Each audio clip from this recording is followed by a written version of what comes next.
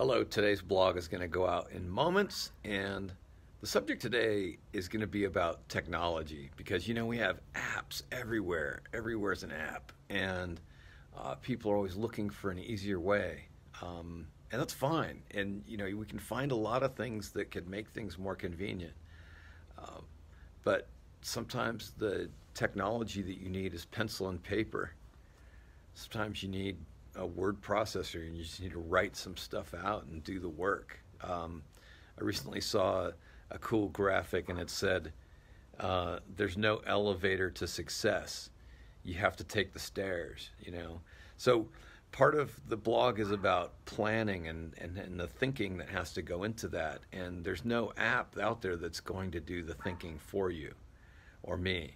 So take the time, write it out. Sometimes pencil's a lot easier to work with.